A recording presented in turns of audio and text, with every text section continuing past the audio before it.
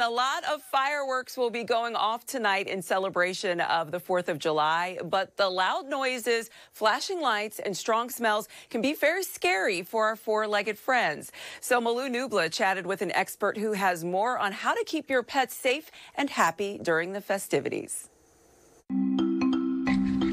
Well, the 4th of July is always packed with fireworks and a lot of fun, but those fireworks can also cause some anxiety for our four legged friends. So, dog behavior consultant Michelle Stern joined us right now with some tips. Hi, Michelle.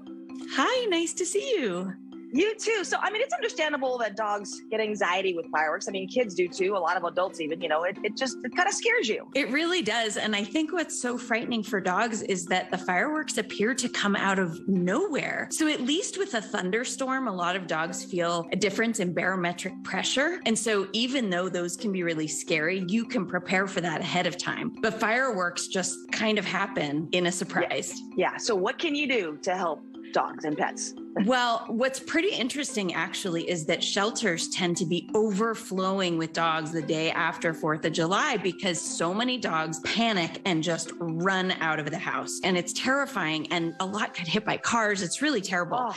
So, the first recommendation that I would love to make is for you to find a really safe place for your dog inside the house. So, don't bring them with you to barbecues and festivals where you're going to see people running around and making noise, but it's best to leave them home. Now, ideally, we try to pick a room somewhere in the interior of your house. So, somewhere that doesn't have a lot of windows, that doesn't have a lot of doors, where they might be able to sneak out if someone forgets to latch the door. Yeah. So, these inside rooms can keep things a little bit quieter. So that's the first step. So there's one trick that I love to recommend for families, and that's to use one of those old fashioned box fans. I think you know what I'm talking about. You can get them at any hardware store, and you plug them in, and they tend to disrupt sound waves. And so if you plug in a box fan when you know there's really scary sounds outside, that can sort of diffuse that, which can help the dog to be more relaxed. I would never even guess that.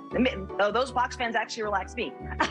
oh, well, that's great. See, it's a win win then. The other thing that I really recommend is that we make sure that our dogs have identifying information on them just in case they get out. So that your microchip is current, that it's registered to your address. And if your dog isn't microchipped, then just make sure that their collar is on securely so it doesn't slip off and that you have a tag that has a phone number so that the people can reach you if they should find your dog. One other suggestion I think would be to set up an interior camera.